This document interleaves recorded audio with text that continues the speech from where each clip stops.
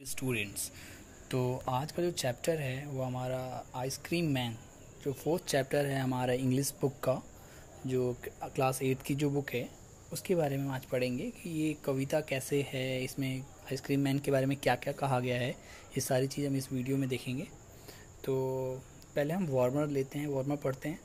देखिए, पहले लिखा है कि list the occasions when you eat ice cream ये ओकेजन्स मतलब किस समय मतलब आप कुछ अवसर के बारे में जानना चाह रहा है, जब आपने कभी आइसक्रीम खाई थी तो उसकी एक लिस्ट बनाइए, ये आपसे बोल रहा है एक तरीके से, ठीक है? फिर बोलता है कि which ice cream do you like most सबसे ज़्यादा कौन सा आइसक्रीम को आप पसंद करते हैं?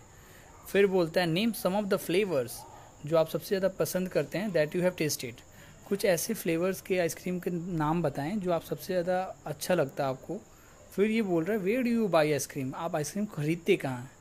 ये सारी चीज़ें आपको एक तरीके से आपका ओवरव्यू ले रहा है कि आप आइसक्रीम खाएँ कि नहीं। ये सारी चीज़ें आप खुद में डिस्कस करें अपने दोस्तों के साथ। ठीक है, चलिए आप कविता को शुरू करते हैं।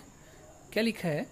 When summers in the city यानी कि जब शहरों में गर्मी के दिन आते हैं and bricks blaze of it blaze का मतलब होता है कि धूप से तपना।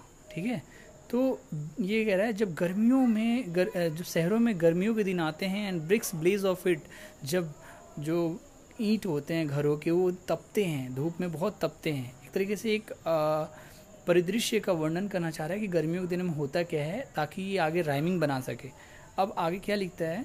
The ice cream man with his little cart जो आइसक्रीम मैन होता है आइसक्रीम मैन यानी कि आइसक्रीम बेचने वाला जो आदमी होता है with his little cart little cart मतलब होता है गाड़ी, अपनी छोटी गाड़ी के साथ goes trundling down the street goes जाता है ट्रंडलिंग का मतलब होता है घड़घड़ाने की आवाज़। आपने अक्सर सुना होगा जो उसकी गाड़ी होती है, आवाज़ करते हुए आती है उसके पहियों की तो वो घड़घड़ाने की आवाज़ को ट्रंडलिंग बोलते हैं।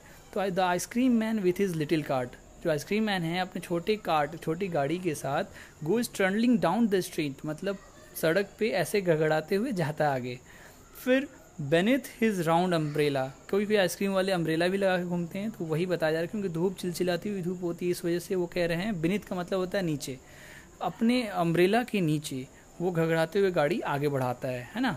फिर, oh what a joyful sight कितना मनोरम दृश्य होता है वो।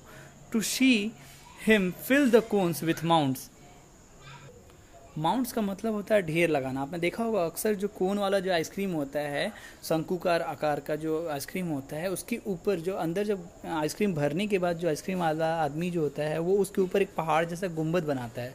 उसको मतलब कहना जा रहा है, उसी को माउंट से यहाँ पे दर्शाया जा रहा है कि आइसक्रीम का जो कोन में भरने के बाद जो गुंबद पे लगाता है आइसक्रीम उसके बारे में बात की जा रही है। तो कह रहे हैं to see him fill the cones with mounds जो आइसक्रीम का जो कोन है, उसको भरने के बाद उसके ऊपर जो गुंबद वाला जो पोर्शन बनाता है तो वो बहुत ही अच्छा लगता है, इनको जॉयफुल साइट दिखाता है, यानी कि आनंददायक वो दृश्य होता है, ठीक है? Of cooling brown and white मतलब ये आइसक्रीम के जो कलर हैं, जो ठंडे ठंडे होते हैं, कोई ब्राउन होता है चॉकलेटी होता है, कुछ वाइट कलर के होते हैं, इसके बारे में चित्रित किया जा रहा है।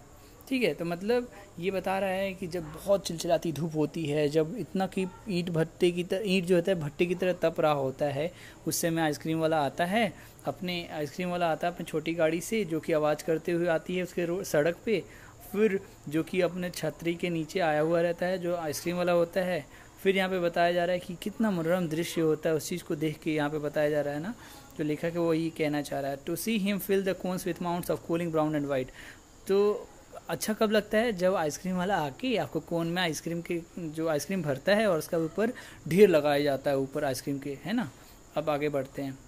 फिर वनीला चॉकलेट स्ट्रॉबेरी देखिए वनी ये सारे फ्लेवर्स हैं। कौन कौन से अलग अलग फ्लेवर्स हैं? वनीला जो होता है एक तरीके से सफ़ेद कलर का होता है चॉकलेट जो होता है ब्लैक कलर का होता है आपने अक्सर देखा होगा। स्ट्रॉबेरी जो होता है आपका पिंक कलर का एक आ, मतलब उसका अलग स्मेल होती है। तो ये सारे फलों के अलग अलग स्ट्रॉबेरी फल है। इनके अलग अलग फ्लेवर्स के आइसक्रीम को हम खाते हैं, उसमें आइसक्रीम वाला लेके आता है। तो ये कह रहा है, वनीला चॉकलेट स्ट्रॉबेरी और chilly things to drink chilly things मतलब चिल्ड नहीं कहते हैं, बहुत ठंडा। तो पीने वाली चीज़ें, ये भी चीज़ें लेके आता है वो। From bottles full of frosty fizz frosty का मतलब होता है बहुत ठंडा फिज का मतलब होता है सनसनाता सनसनाता हुआ। आपने अक्सर देखा होगा कि जो हमारे आइसक्रीम वगैरह वो निकालता है अपने डब्बे से, उसमें से धुआँ निकलता हुआ रहता है कभी कभी और कभी कभी ऐसा लगता है कि वो बहुत सनसना रहा है, आवाज़ जाती है हल्की हल्की तो वही कह रहा है कि वनीला चॉकलेट स्ट्रॉबेरी और चिली थिंग्स टू ड्रिंक ये सारी चीज़ें वो लेके आता है, पीने की भी होती है from bottles full of frosty fizz क्योंकि आइसक्रीम के साथ साथ कई कई आइसक्रीम वाले होते हैं, वो बॉटल में ड्रिंक्स भी रखते हैं, जो कि बहुत ही ठंडा होता है।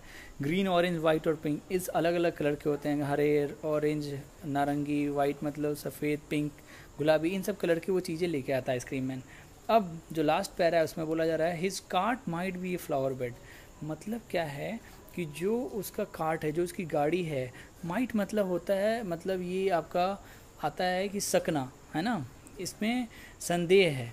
His cart might be a flower bed उसका जो कार्ट है, कुछ ऐसा प्रतीत होता है कि एक फूल का बिस्तर है। क्योंकि ज़ाहिर सी बात है, जो उसके जो आइसक्रीम है, वो अलग अलग कलर के हैं अलग अलग फ्लेवर के हैं। Of roses and sweet peas कुछ कुछ तो गुलाब के कलर के होते हैं। गुलाबी कलर के स्वीट पीज मतलब जो हरे मटर के दाने की तरह होते हैं, है ना? The way the children cluster around देखिए क्लस्टर का मतलब होता है झुंड लगाना।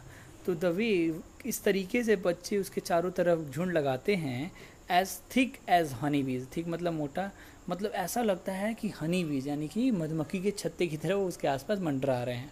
तो ये सारी चीज़ें थी जो एक ice man ice cream man के बिहाफ पे सोचा गया है इस हमारे लेखक के द्वारा, जिसका नाम है रैचल फ़ील्ड तो आशा करता हूँ आपको ये वीडियो समझ में आई होगी। अगर कोई त्रुटि हुई हो तो उसको आप क्वेरी कर सकते हैं, आप अपने कमेंट सेक्शन में डाल सकते हैं।